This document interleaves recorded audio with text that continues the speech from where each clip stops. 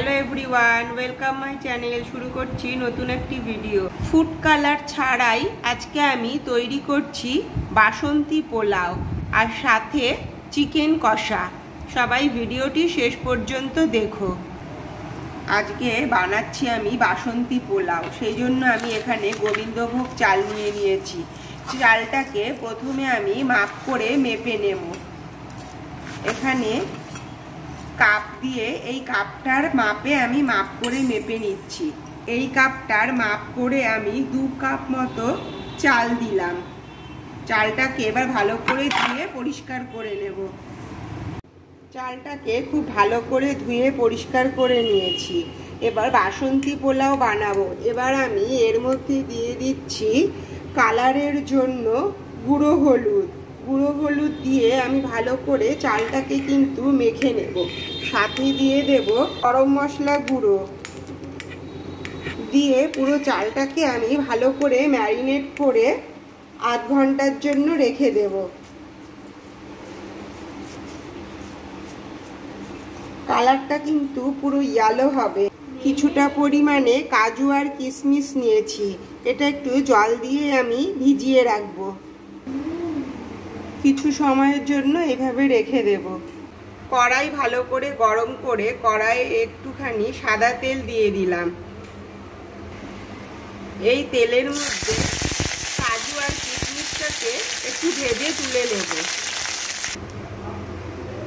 এবার এই কাজু আর কিশমিশ ভাজা তেলের মধ্যে আমি দিয়ে দেব ঘি। এবার এই ঘিয়ের মধ্যে একটা তেজপাতা ফোড়ন দিয়ে দিলাম।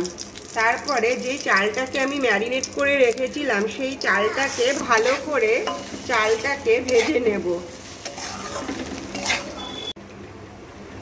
এর মধ্যে দিয়ে দিচ্ছি স্বাদ অনুযায়ী নুন। তারপর আবার ভালো করে মিশিয়ে নেব পুরো চালটার সঙ্গে। ভালো করে ভেজে তারপরে কিন্তু জল দেব। জলটা দিতে হবে খুব মাপ অনুযায়ী। যেহেতু এই কাপটার মাপ করে চাল নিয়েছি, দু কাপ চাল, তাই এই কাপটার মাপ করেই আমি কিন্তু চার কাপ জল নেব। চার কাপ জল আমি এখানে গরম করতে বসিয়ে দিয়েছি। হালকা উষ্ণ গরম জল দিলে রান্নাটা কিন্তু খুব ভালো আর পোলাওগুলো খুব ঝরঝরে হয়। সেই জন্য আমি ওখানে একটু উষ্ণ গরম জল করতে বসিয়ে দিয়েছি। ভাজাটা কিন্তু প্রায় হয়ে গেছে। এবার আমি এর মধ্যে উষ্ণ গরম জল দিয়ে দেব। এবার ভাজা চালটার মধ্যেই আমি কিন্তু উষ্ণ গরম জল দিয়ে দিলাম। মাপ অনুযায়ী চার কাপ জল দিয়ে আমি কিন্তু এই রান্নাটা তৈরি করে নেব। প্রথমে কিন্তু দেখে মনে হবে যে ভাতটা কিন্তু ঝরঝরে হয়নি। কিন্তু শেষে দেখা যাবে যে কেমন সুন্দর ঝরঝরে হয়েছে। এবার আমি ভেজে রাখা কাজু আর কিশমিশটাকে দিয়ে দেব। এইভাবে জল দিয়ে মিডিয়াম টু হাই ফ্লেমে রেখে কুড়ি মিনিটের জন্য ঢাকা চাপা দিয়ে রেখে দেব। ঢাকাটা খুলে একটু নাড়াচাড়া করে দেখে মনে হচ্ছে ঝরঝরে হয়নি।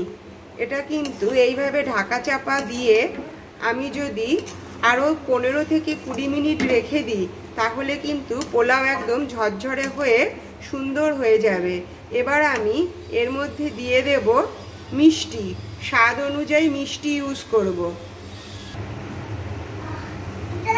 যে যেমন মিষ্টি খাবে, তেমন কিন্তু এখানে মিষ্টিটা ইউজ করবে। আমি এখানে দু চামচ মতো মিষ্টি দিলাম। আর পোলাও মানে একটু মিষ্টি মিষ্টি হবে, তবেই না খেতে ভালো লাগে।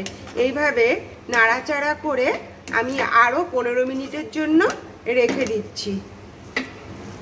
তৈরি হয়ে গেছে ঝরঝরে বাসন্তী পোলাও। একদম কিন্তু নরম হয়নি, খুব সুন্দর ঝরঝরে হয়েছে। এইদিকে তৈরি হচ্ছে চিকেন কষা। বাসন্তী পোলাওয়ের সাথে আজকে রাতের ডিনারে চিকেন কষা।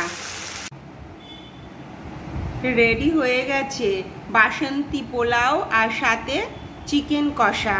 রাতের ডিনারে কিন্তু এইটাই হয়েছে। যদি ভিডিওটি ভালো লেগে থাকে তাহলে অবশ্যই লাইক, কমেন্ট, শেয়ার আর সাবস্ক্রাইব করো। দেখা হবে আবার next video take care, bye bye, thank you.